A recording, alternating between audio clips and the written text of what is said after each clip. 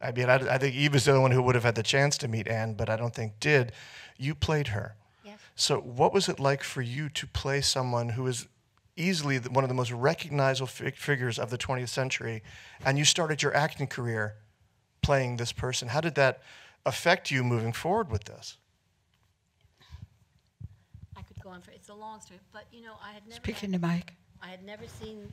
I'd, ne- I'd never acted. I'd never seen The Diary of Anne Frank on Broadway. I didn't. My father had been in, in the uh, World War II, and I knew about atrocities and things that happened in the war. I was a little teeny girl, but I didn't know anything about it. And I was modeling, and I and they kept asking me to test for the movie, and I kept saying, "I'm not an actress, thank you. I don't want to be an actress." But I went to Paris to model for the first time, and it was wonderful. And I got there, and I was telling all my French friends, these people from Hollywood keep calling me and asking me to test for this movie, The Diary of Anne Frank. I had I didn't know anything about it, and the, the book, the diary, and um, they said, "Oh, Millie, Millie, that's a very important book, don't you know?" And I said, "No." I, they said, "George Stevens, the wonderful American director, is directing that." I said, "George Stevens."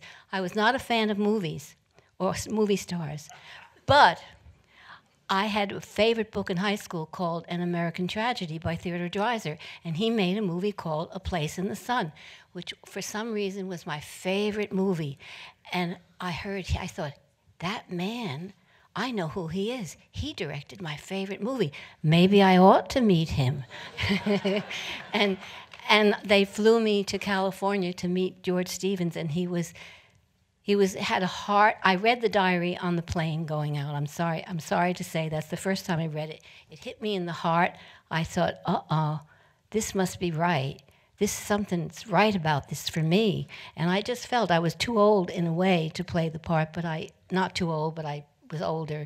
I wasn't 14, and I, I, I it just hit me in the heart. And I met George Stevens, and it was this lovely man who treated me with respect.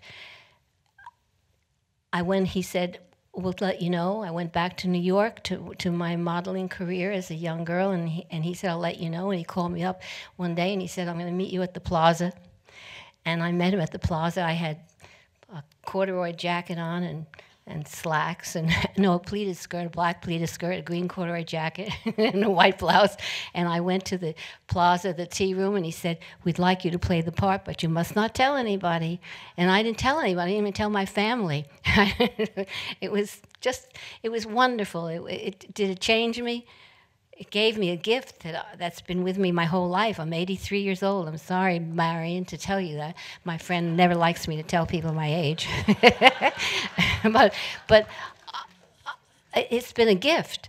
That's- and that's- and I and I, I I couldn't have asked for more. I've done over 40 films. Nobody knows what they were, but they do know the Diary of Anne Frank. I've been I've been invited all over the world.